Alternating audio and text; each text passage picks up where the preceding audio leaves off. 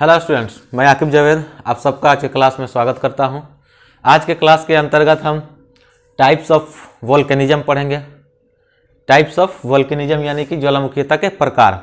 ज्वालामुखीयता के एक प्रकार के बारे में आप सब जानते हैं, जो विस्फोटकता के आधार पर निर्धारित होती है, जिसमें एक केंद्रीय विस्फोटक ज्वालामुखी होता है और दूसरा शांत दरार करके ज्वालामुखी होता है। तो हम सबसे पहले करते क्या है कि इसको दो भागों में बांट कर देखते हैं या दो भागों में बांट कर इसको पढ़ने के कोशिश करते हैं। पहला विस्फोटकता के आधार पर इसको बांटते हैं। यह कितने प्रकार का होता है? विस्फोटकता के आधार पर। ए, किसी भी चीज़ को बांटने के कई अधिकार आधार हो सकते हैं। कई तरीके से बांट के उसको पढ़ा जा सकता है लेकिन यहाँ पे सामान्यतः हम इसे दो आधारों पर बांट कर पढ़ेंगे। तो पहला बांटते हैं हम विस्फोटकता के आधार पर। और दूसरा बांटते हैं हम ज्वालामुखी क्षेत्र से ज्वालामुखीय प्रक्रिया से प्रभावित क्षेत्र के आधार पर। प्रभावित क्षेत्र के आधार पर। ये दो चीज़ आज हमें पढ़नी है यहाँ पे, आज के क्लास के अंतर्गत। इन्हीं दोनों चीज़ों के आधार पर हम स्टडी करेंगे। दोनों नहीं, एक ही चीज़ पढ़ेंगे ज्वालामुखीय प्रक्रिया से प्रभावित क्षेत्र के आधार पर, क्योंकि ये चीज़ हम पढ़ चुके हैं। हम सबको पता है कि ज्वाला विस्फोटकता के आधार पर जो है ज्वालामुखीय प्रक्रिया दो प्रकार की होती है। एक जो होती हैं केंद्रीय विस्फोटक ज्वालामुखी। ये चीज़ याद रखनी होती है आपको, ज़रूरी है कम से कम क्रम एक याद होना चाहिए आपको भी। दूसरा है शांत, दरार प्रकार की ज्वालामुखीयता। इसके बारे में अब हम कोई बात नहीं करेंगे, क्योंकि इसको काफ़ी विस्तार से हम पढ़ चुके हैं। अब इसकी कोई बात नहीं होगी। आज हम जो पढ़ने वाले हैं ज्वालामुखी प्रक्रिया प्रभावित क्षेत्र के आधार पर, यानी कि पृथ्वी की सतह पर कौन कौन से ऐसे क्षेत्र हैं जहाँ ज्वालामुखी का विस्तार मिलता है। क्षेत्र के आधार पर कुछ विशिष्ट क्षेत्र होंगे जहाँ ज्वालामुखियाँ पाई जाती होंगी, या ज्वालामुखीयता प्रक्रिया वहाँ पर होती होंगी। तो उसके आधार पर इसको दो भागों में बांटा गया है। हम भी इसको दो आधार में बांट के देखते हैं। पहला हम कहते हैं कि प्लेट सीमांत ज्वालामुखीयता अब लगता होगा आपको क्या कि हाँ ये जाना पहचाना चीज़ है। प्लेट सीमांत ज्वालामुखीयता यहाँ से समझना मुश्किल नहीं होना चाहिए किसी को भी। आप जो क्लास रेगुलर कर रहे हैं उनके लिए तो और दिक्कत नहीं होनी चाहिए। और दूसरा जो है, अंत प्लेट ज्वालामुखीयता। ये एकदम से नया है। इसको हम लोग पढ़ेंगे बढ़िया से, इसको भी। ये एकदम से नया है, ये नया नहीं है। लेकिन हम इसको पढ़ रहे थे। कंटिनेंटल ड्रिफ्ट के संदर्भ में हमने इसको पढ़ा है। हमने इसको और भी अलग टॉपिक के संदर्भ में पढ़ा है। लेकिन आज जब हम पढ़ रहे हैं तो प्रॉपर इसको वोल्केनिज्म के अंतर्गत पढ़ेंगे। यानी कि वोल्केनिज्म जो है, ज्वालामुखीयता जो है वो कितने प्रकार के होते हैं? और विश्व में जो प्रभावित क्षेत्र हैं, उन क्षेत्रों के आधार पर इनको कितने भागों में बांट कर हम पढ़ सकते हैं या कितने प्रकार से क्षेत्रों में बांटा जा सकता है? तो प्लेट सीमांत ज्वालामुखीयता जो है, आप सबको पता है कि कंटिनेंटल ड्रिफ्ट के अंतर्गत जब हम ये पढ़ रहे थे तो पहला देखें कि अपसारी संचलन के अंतर्गत भी ज्वालामुखीय प्रक्रियाएँ हो रही हैं। जहाँ हम देख रहे थे कि महासागर के नितल पर भ्रंश घाटी के समीप जब दो प्लेट एक दूसरे से दूर खिसकते हैं तो तनावमूलक बल के द्वारा भ्रंशन की क्रिया होती है और जब ये भ्रंश घाटी की चौड़ाई में वृद्धि होती है, तब दाब में आने वाली कमी के कारण लावा की उत्पत्ति होती है और अंततः महासागर के नितर पर ज्वालामुखीय प्रक्रिया होती है। तो एक चीज़ हम यहाँ पे पढ़ रहे थे बार बार अपसारी संचलन के अंतर्गत। यानी कि प्लेट सीमांत के अंतर्गत एक कारण है अपसारी संचलन, इसको हम बोलते हैं डाइवर्जेंस मूवमेंट और तीसरा जो बोल, दूसरा जो है, एक जो था कन्वर्जेंस मूवमेंट कन्वर्जेंस मूवमेंट यानी कि अभिसारी संचलन. यहाँ पे इस प्लेट संचलन के अंतर्गत दो प्लेटें एक दूसरे से टक्कर खाती हैं। एक दूसरे से मिलती है। इनकी गति की दिशा जो है, एक दूसरे की दिशा में होती है। तो यहाँ पे आज जो हमारा पढ़ने वाला जो चीज़ है, एक इसके अंतर्गत पढ़ने वाले हैं। एक ये चीज़ हम पढ़ेंगे और एक ये। वन टू और थ्री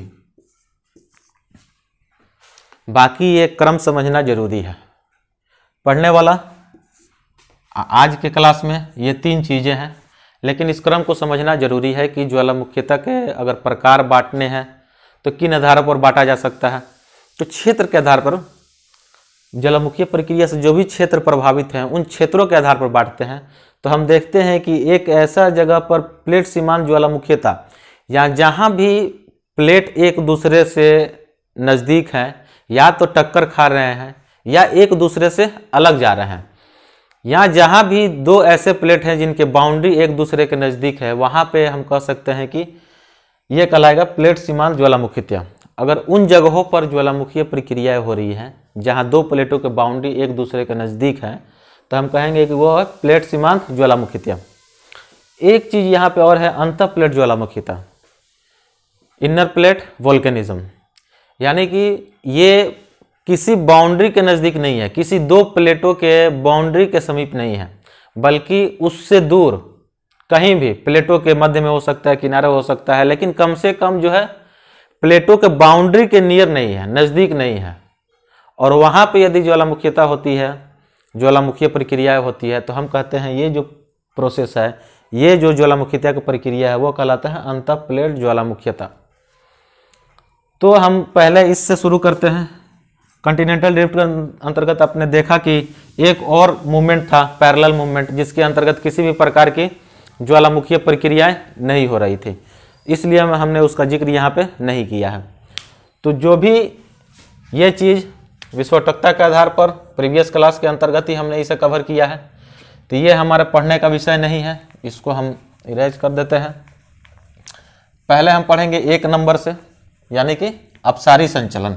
उसके बाद हम अभिसारी संचलन देखेंगे, यानी कि ज्वालामुखीय प्रक्रिया के लिए अभिसारी संचलन कैसे जिम्मेदार है, और तीन नंबर पे हम अंत प्लेट ज्वालामुखीयता को देखेंगे। तो सबसे पहले हम अपसारी संचलन के अंतर्गत देखते हैं कि कौन सी ऐसी प्रक्रियाएँ होती हैं जो भू, ज्वालामुखीय प्रक्रियाएँ के लिए ज़्यादा जिम्मेदार हैं। हम सबको पता है।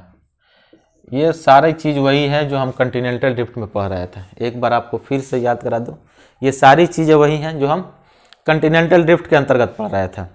आप ये इसको बेहतर समझते हैं, लेकिन जब हम वोल्किनिज्म के अंतर्गत इसको पढ़ रहे हैं तो इसके इसके अनुसार हम इसको एक क्रम में सजाकर पढ़ने की यहाँ पे कोशिश कर रहे हैं। इस क्लास के अंतर्गत शायद आपको 30 से 40 परसेंट कुछ नया मिले, बाकी 60 से 70 परसेंट वही चीज़ है जो कंटिनेंटल ड्रिफ्ट में हमने पढ़ा था। लेकिन जब हम वोल्कनिज्म पढ़ रहे हैं तो वोल्कनिज्म को भी एक प्रोसेस से, एक प्रक्रिया से, एक क्रम में पढ़ना ज़रूरी है। तो हम देखते हैं ज्वालामुखीता का पहला कारण। इसको हम कर देते हैं एक नंबर। इसमें क्या होता है? इसमें दो प्लेट जो है, एक दूसरे से दूर जाती है। दूर जाने के कारण होता क्या है? कि इनमें तनावमूलक बल क्रिएट होता है। और तनावमूलक बल के द्वारा जो दोनों प्लेटों के बीच में भ्रंशन की क्रिया होती है, भ्रंश घाटी के चौड़ाई में वृद्धि होता है चौड़ाई में वृद्धि कारण दाब में कमी आती है और लावा का निर्माण होता है, जो अंततः सतह पर आता है और ज्वालामुखीता प्रक्रिया होती है। तो इसको हम पूरी प्रक्रिया के रूप में एक देखते हैं। हम कह सकते हैं कि महासागर के नितल पर एक, ये जो मैं एरो वाले चीज़ लिखता हूँ, ये सबसे इम्पोर्टेंट चीज़ है और ये सबसे समझ, समझने वाला चीज़ है। यदि आप भूल भी गए कि मैंने क्या बोला है, क्या बोल रहे थे तो आप इस चीज़ से रिकॉल उसको रिकॉल कर सकते हैं। महासागर के नितल पर। भ्रंश घाटी के समीप। किसके अंतर्गत ये बात हो रहा है? अपसारी संचलन के अंतर्गत। किस लिए? तो हम देख रहे हैं कि अपसारी संचलन के अंतर्गत ज्वालामुखीयता की प्रक्रिया हो रही है। ज्वालामुखीय प्रक्रियाएँ हो रही है। वहाँ पर लावा सतह से बाहर आ रहे हैं। पहला जो चीज़ अपसारी संचलन के अंतर्गत, महासागर के नितल पर, भ्रंश घाटी के समीप। अपसारी संचलन के कारण। यानी जब प्लेट एक दूसरे से दूर जाती है, एक दूसरे से दूर हटती हैं, तब क्या होता है? तब भ्रंशन की क्रिया होती है। भ्रंशन की क्रिया होती है, दो चीज़ है। देख रहे थे? पहले ये सपोज़ दैट सटा हुआ है। जब भ्रंशन की क्रिया होती है तो इनके बीच की गैप बढ़ जाती है। भ्रंशन की क्रिया होती है तो क्या होता है? भ्रंश घाटी की चौड़ाई में वृद्धि होती है। भ्रंश घाटी की चौड़ाई जो है इंक्रीज कर जाती है। और इस चौड़ाई के इंक्रीज करने के कारण, ये जो चौड़ाई है, इसके इंक्रीज करने के कारण, इन क्षेत्रों में लगने वाले दबाव जो होता है, कम हो जाता है, क्योंकि प्लेट जो है, एक दूसरे से दूर चली गई। तो ये जो क्षेत्र है, इन क्षेत्रों में जो दबाव लग रहा था, जो प्रेशर लग रहा था प्लेटों के द्वारा वो कम हो गया। और हम सबको पता है कि दबाव में कमी आने के कारण होता क्या है? यहाँ पे जो होगा, मैग्मा का निर्माण होगा। यानी कि ज्वालामुखी का निर्माण होगा। ठीक है? तो हम कह सकते हैं भ्रंश घाटी की चौड़ाई में वृद्धि होने से दबाव में कमी आती है। दबाव में कमी आती है। और दबाव में कमी आने के कारण लावा की उत्पत्ति होती है। और लावा की उत्पत्ति के बाद यही लावा जब आंतरिक परतों को तोड़ते हुए सतह पर आता है, आंतरिक परतों को तोड़ते हुए सतह पर आता है, तब हम कहते हैं कि ज्वालामुखीय प्रक्रियाएँ हो रही हैं। ज्वालामुखीय प्रक्रियाएँ हो रही हैं। देखिए, ये चीज़ एक दूसरे से कैसे जुड़ी हुई है? हम कह सकते हैं कि महासागर के नितल पर भ्रंश घाटी के समीप अपसारी संचलन के कारण भ्रंशन की क्रिया होती है। इस भ्रंशन के कारण भ्रंश घाटी की चौड़ाई में वृद्धि होती है और चौड़ाई में वृद्धि होने के कारण स्थेनोस्फेयर में दबाव में कमी आती है, लावा की उत्पत्ति होती है।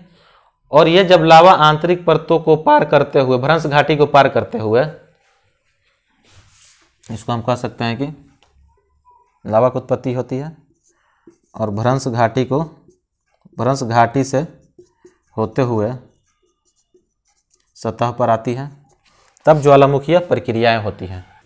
अब ये सवाल उठता है कि इस प्रकार की ज्वालामुखीय प्रक्रियाएँ कहाँ होती हैं?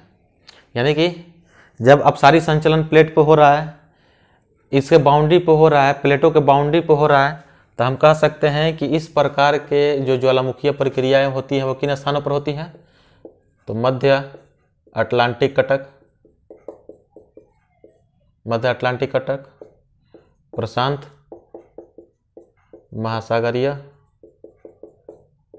कटक और हिंद महासागरीय कटक। हिंद महासागरीय कटक। ठीक है? तो अपसारी संचलन के कारण जब ज्वालामुखीता प्रक्रियाएँ होती हैं, इन क्षेत्रों में मध्य अटलांटिक कटक यानी अटलांटिक कटक, अटलांटिक महासागर जो है, उसके बीचों बीच में जो कटक है, उन क्षेत्रों में प्रशांत महासागरीय कटक और हिंद महासागरीय कटक। इन क्षेत्रों में जो भी ज्वालामुखीय प्रक्रियाएँ होती हैं, वो अपसारी संचलन के कारण ही संभव हो पाती हैं। यानी कि हम कह सकते हैं कि अपसारी संचलन के कारण मध्य अटलांटिक कटक, प्रशांत महासागरीय कटक या हिंद महासागरीय कटक आदि जगहों पर ज्वालामुखीय प्रक्रियाएँ होती हैं या उनसे संबंधित हैं। अब हम दूसरे के बारे में पढ़ते हैं। यानी कि दो नंबर अभिसारी अभिसारी संचलन। अभिसारी संचलन के अंतर्गत किन जगहों को आधार बनाकर पढ़ा जा सकता है? अभिसारी संचलन कहाँ हो रहा है? आप सबको पता है कि जो है कन्वर्जेंस मूवमेंट कहाँ हो रहा है? प्लेटो कन्वर्जेंस मूवमेंट हो रहा है। पहला हम कह सकते हैं ए उत्तरी अमेरिका उत्तरी अमेरिका का नाम अमेरिकी प्लेट, और दूसरा उसके साथ जो है प्रशांत महासागरीय प्लेट प्रांत प्रशांत महासागरीय प्लेट। इन दोनों जगहों पर, चूँकि यह समझाने वाला चीज़ ज़्यादा नहीं है, ये सारे चीज़ हम समझ चुके हैं कॉन्टिनेंटल ड्रिफ्ट के अंतर्गत कि क्यों ऐसा हो रहा है। ये जिन चीज़ों को मैंने यहाँ पे लिखा है, जो भी चीज़ लिखे हैं, इसमें से कोई नया नहीं है। बस यहाँ पे हम इसको ज्वालामुखीता के संदर्भ में पढ़ रहे हैं। इसलिए आज ज़्यादातर इसको एक क्रम में सजाने का काम है। तो इसको एक क्रम में मैं यहाँ पे सजा रहा हूँ, आपके लिए कि आपको आसानी हो। समझने वाली चीज़ जो है, थी कंटिनेंटल ड्रिफ्ट के अंतर्गत हमने पढ़ लिया था। ये सब हम कंटिनेंटल ड्रिफ्ट का पढ़ते हैं। अभी सारी संचलन कहाँ हो रहा है? अमेरिकी प्लेट और प्रशांत महासागरीय प्लेट के सीमांत पर। और दूसरा, हम कह सकते हैं कि प्रशांत महासागरीय प्लेट और यूरेशियन प्लेट के बाउंड्री पर। यूरेशियन प्लेट के बाउंड्री पर। यूरेशियन प्लेट सीमांत पर। अगर अभिसारी संचलन से हम ये कहें कि किन जगहों पर ज्वालामुखीय प्रक्रियाएँ होती हैं तो हम ये कह सकते हैं कि अमेरिकी प्लेट और प्रशांत महासागरीय प्लेट और प्रशांत महासागरीय और यूरेशियन प्लेट। इन दो जगहों पर जो ज्वालामुखीय प्रक्रियाएँ होती हैं, या ज्वालामुखीय प्रक्रिया से संबंधित जो भी भूगर्भिक घटनाएँ होती हैं, वो अभिसारी संचलन के कारण संभव होती हैं। यही चीज़, यही अभिसारी संचलन कन्वर्जेंस मूवमेंट जो है, इन दोनों प्लेटों के समीप होने वाले जो भी ज्वालामुखीय प्रक्रिया हैं, उनके लिए जिम्मेदार हैं। तो हम देखते हैं कैसे। ये चीज़ फिर से मैं बोलूँ कि ये हम सारी चीज़ें पढ़ चुके हैं। लेकिन इसको अब इसके संदर्भ में देखना है, ज्वालामुखीयता के संदर्भ में। हम यहाँ पर देख रहे हैं, एक प्लेट जो है अभिसारी संचलन के अंतर्गत होता क्या है? अभिसारी संचलन के अंतर्गत दो प्लेटें एक दूसरे से टक्कर खाती हैं। हम पहले भी ये पढ़ चुके हैं, दो प्लेटें एक दूसरे से टक्कर खाती हैं।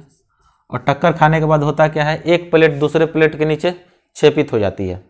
सबडक्शन होता है, एक प्लेट का दूसरे प्लेट के नीचे।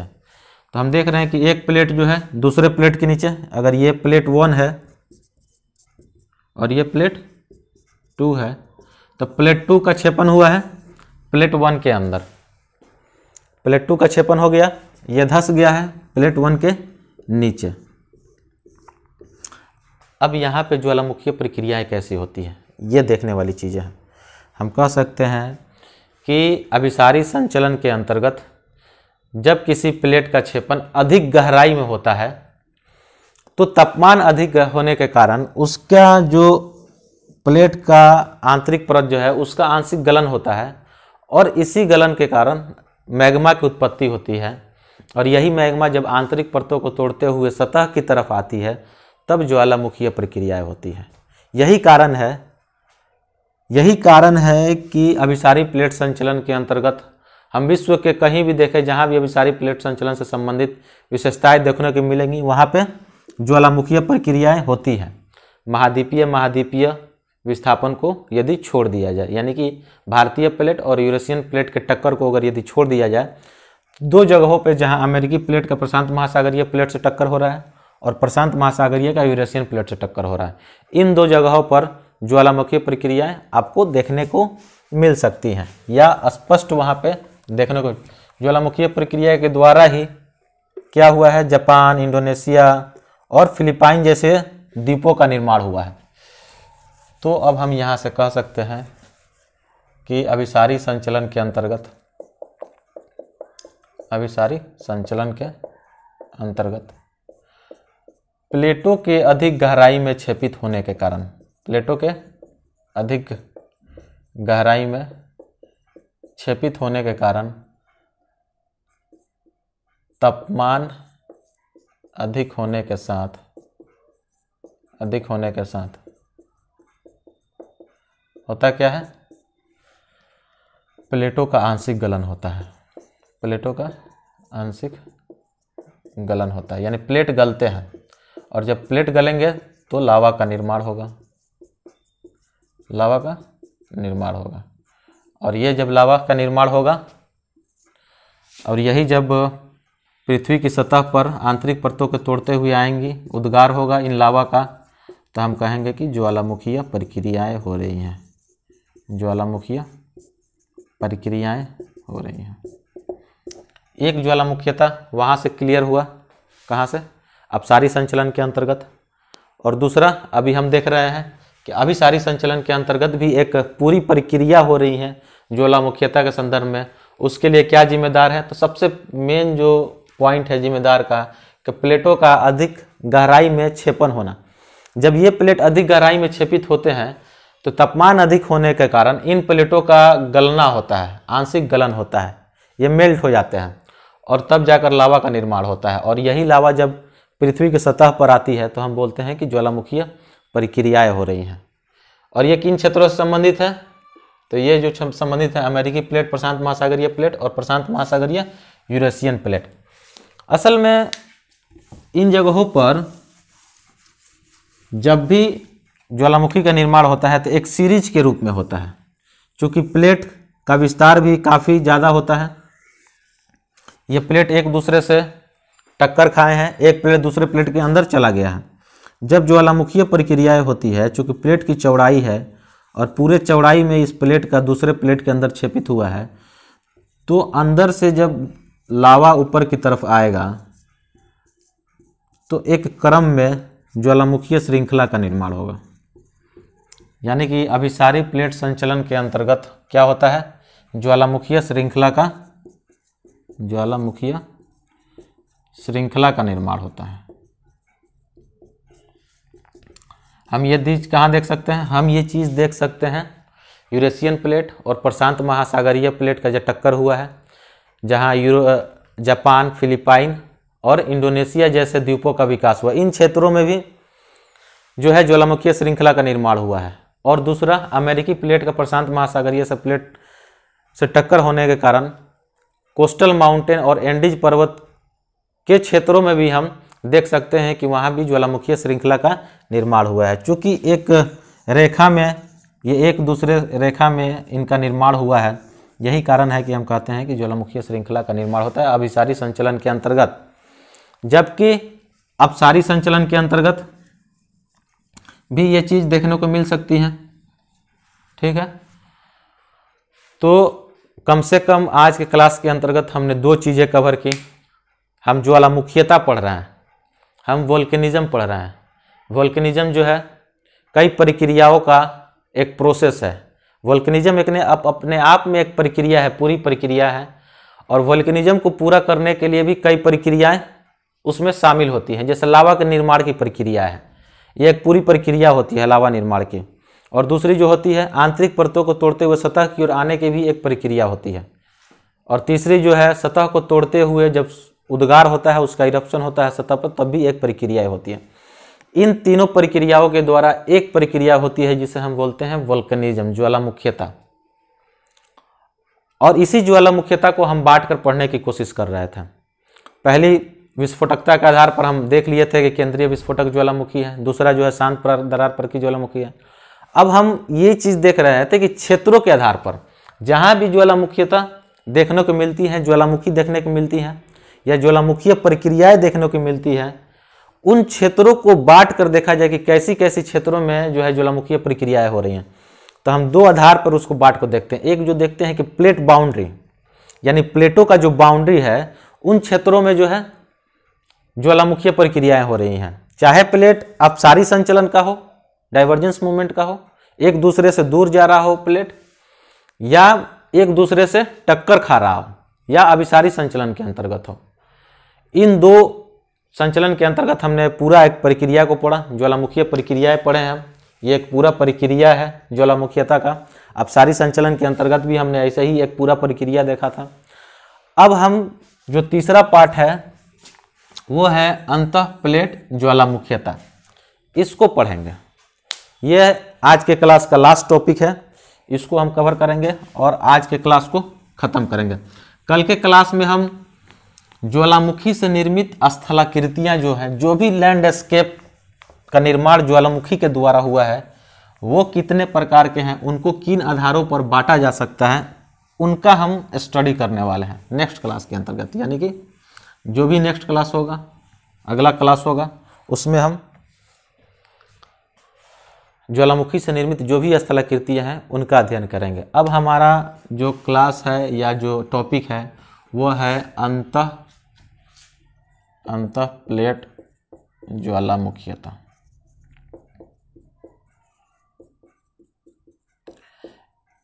ये है क्या पहले इस चीज़ को समझना है।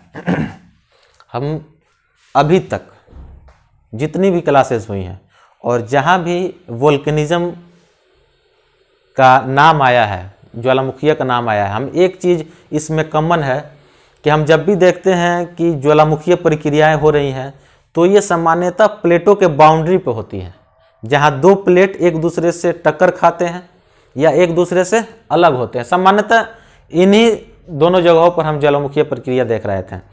लेकिन एक जगह ऐसा भी है जो इन प्लेटों से दूर हो सकता है। ज़रूरी नहीं है कि ज्वालामुखीय प्रक्रिया के लिए कि ये प्लेटों के किनारों पर ही होंगी, उनके बाउंड्री पर ही होंगी। ये महाद्वीप या महासागर के बीचों बीच हो सकती हैं यह भी संभव है। तो जब इस तरह की प्रक्रियाएँ आती हैं, जो प्लेटों के बाउंड्री से दूर होती हैं, प्लेट सीमांत से दूर होती हैं, यानी कि ज्वालामुखीय प्रक्रियाएँ हो रही हैं, लेकिन ये प्लेट के बाउंड्री से दूर है, तब हम कहते हैं कि अंत प्लेट ज्वालामुखीयता होती है। इसके क्या कारण है? उसको भी देखते हैं, या कैसे ये पॉसिबल है, इसको भी हम देखने की कोशिश करते हैं। सपोज़ दैट हम मान लेते हैं इस तरह की ज्वालामुखीयता का निर्माण सामान्यतः जब पृथ्वी के आंतरिक परतों में, भूगर्भ में, कोई जगह ऐसा होता है जहाँ अत्याधिक मात्रा में, काफ़ी मात्रा में मैग्मा होती है। हो सकता है पृथ्वी के किसी खास जगह पर मैग्मा का काफ़ी मात्रा में जमाव हो, वहाँ पे काफ़ी मात्रा में मैग्मा है, जो सामान्यतः किसी क्षेत्र में देखने को नहीं मिलती है। इसका विस्तार जो है कहीं कहीं देखने को मिलता है, यानी कि किसी किसी प्लेट में आपको ये विशेषताएँ देखने को मिलेंगी कि प्लेटों के बीचों बीच कहीं भी अंदर की तरफ़ जो है वहाँ पे मैग्मा की अधिकता है। और ये मैग्मा काफ़ी ज़्यादा होते हैं। ये जो मैग्मा का अधिकता होता है, जो इनकी मात्रा होती है, ज़्यादा होने के कारण हम इसको बोलते हैं तप्त स्थल। ये कहलाते हैं तप्त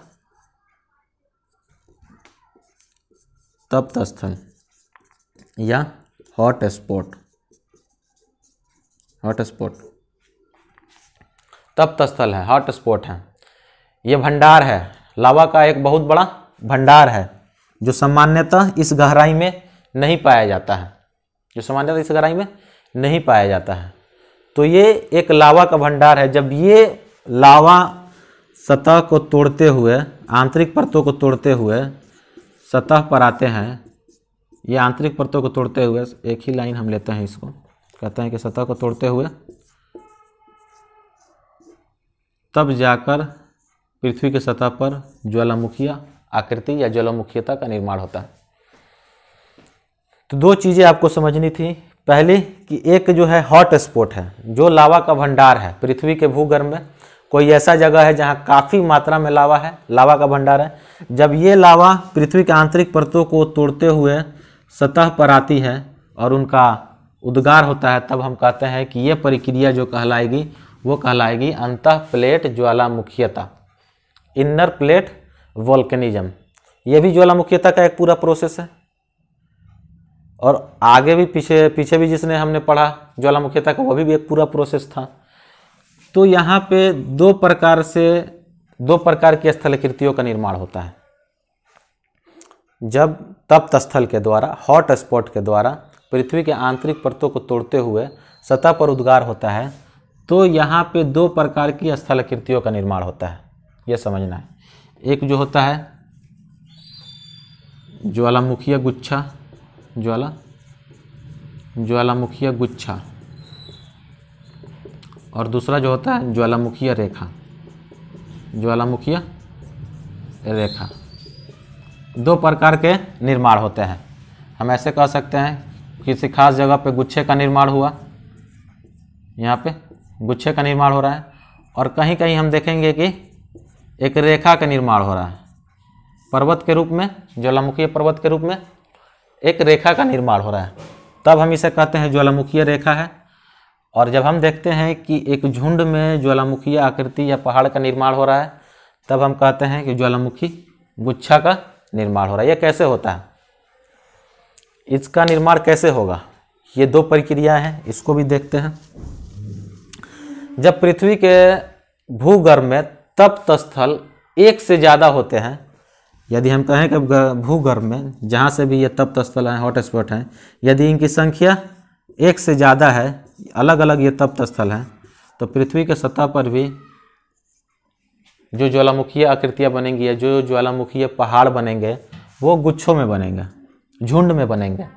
क्योंकि यहाँ भी झुंड है, लावा का झुंड है, भंडार है। जो भी भंडार है, कई ग्रुप में बटा हुआ है, इसका भी एक झुंड है। लेकिन यही स्थिति हम कहते हैं सेकेंड कंडीशन ये समझ गए? ज्वालामुखीता गुच्छा का निर्माण क्यों होगा? जब हॉट स्पॉटों की संख्या ज़्यादा होंगी, तब स्थल की संख्या ज़्यादा होंगी, तब बनने वाली ज्वालामुखी आकृतियाँ की भी संख्या ज़्यादा होंगी। लेकिन यदि हम कहते हैं कि एक ही तप्त स्थल के द्वारा, एक ही तप्त स्थल के द्वारा जब ज्वालामुखीय प्रक्रियाएँ होती हैं, तब ज्वालामुखीय रेखा का निर्माण होता है। ये कैसे पॉसिबल है कि ज्वालामुखीय रेखा का निर्माण हो? शायद आप इस बात को नहीं समझ पा रहे हैं। ये तो आसान था। ज्वालामुखीय गुच्छा समझना आसान था। ये भी आसान है। शायद आप इसको नहीं समझ पा रहे हैं या नहीं सोच पा रहे हैं तो हम इसको एक एग्ज़ाम्पल के थ्रू देखते हैं। यदि हम मानते हैं कि एक ही हॉट स्पॉट है, ये हमारा तप्त स्थल है। हॉट स्पॉट है। और ये हमारा प्लेट है।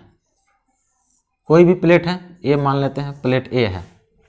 और ये हॉट स्पॉट से जब लावा प्लेट की तरफ़ जाती है और आंतरिक परत को तोड़ती है तो जाकर यहाँ पे क्या होता है? एक ज्वालामुखीय आकृति का निर्माण होता है या ज्वालामुखीय पहाड़ का निर्माण होता है। हमने कंटिनेंटल ड्रिफ्ट में पढ़ा था कि जो है, प्लेट जो है एक जगह से दूसरे जगह मूवमेंट कर रही है। कोई ना कोई प्लेट कहीं ना कहीं मूवमेंट कर रही है। यदि हम मान लेते हैं कि इसका मूवमेंट जो है ये वेस्ट है। वेस्ट की तरफ़ गति कर रही है। ये प्लेट जो है वेस्ट की तरफ़। कहाँ से? तो ईस्ट की तरफ़ से। प्लेट जो है ईस्ट की तरफ़ से वेस्ट की तरफ़ मूवमेंट कर रही है। और यहाँ पे हॉट स्पॉट होने के कारण ज्वालामुखीय आकृति का निर्माण हो रहा है। यदि हम मान लेते हैं कि कुछ हज़ार सालों के बाद ये प्लेट जो है मूवमेंट करके आगे बढ़ गए। ये प्लेट यहाँ तक आ गए। ठीक है? तो ये वाला जो ज्वालामुखी आकृति होगा, वो यहाँ पे आ जाएगा। और यहाँ पे क्या होगा? एक नया ज्वालामुखी आकृति का निर्माण होगा। ये प्रक्रिया एक दिन में नहीं होती है। ये हज़ारों हज़ार साल, लाखों साल में ज्वालामुखीय रेखा का निर्माण होता है। और तब जाकर पृथ्वी के सतह पर इस तरह की आकृति देखने को मिलती है। हम कहें, सपोज़ दैट अगर ये प्लेट ए है और प्लेट ए बढ़कर यहाँ पे आ गया। और दो प्रकार की, ये प्लेट ए ही है, बढ़कर यहाँ पे आ गया। इस तरफ़ दिशा कर रहा है। तब जाकर फिर ये प्लेट बढ़ा, यहाँ आ गया, फिर एक यहाँ पे निर्माण हुआ। ये प्लेट अगर आगे बढ़ता जाए, हम ऐसे भी कर सकते हैं कि ये प्लेट आगे बढ़ गया फिर से। फिर से आगे बढ़ा और एक ज्वालामुखी प्रक्रिया जो आगे बढ़ गई फिर यहाँ पे एक नया ज्वालामुखी प्रक्रिया का निर्माण होता है, नवा तब देखते हैं कि हम एक ज्वालामुखीय रेखा का निर्माण हो रहा है। एक पूरे रेखा का निर्माण हो रहा है यहाँ पे। तो ये ये चीज़ें आज के क्लास के अंतर्गत हमें समझनी थी। ज्वालामुखीय गुच्छा को समझना था हॉट स्पॉट को समझना था, इनर प्लेट, वोल्कनिज्म को समझना था, और और भी जितनी प्रक्रियाएँ थी ज्वालामुखीयता के अंतर्गत, उसको देखना था। तो आज की क्लास के लिए इतना ही। आपसे मिलते हैं नेक्स्ट क्लास के अंतर्गत।